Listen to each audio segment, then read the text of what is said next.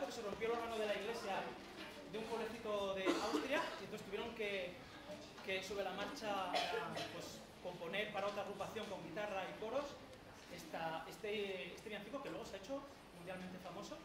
Y ya os digo, este, esta noche de, de, la Misa de Gallo se cumple el 200 aniversario. Entonces, como, como digamos homenaje y recordatorio, os invitamos a que cantáis esta vez, ¿vale? No, no, no oímos, así no se ¿vale? Que sea colectivo, no solo sea, ¿vale? Que haya feedback, ¿vale?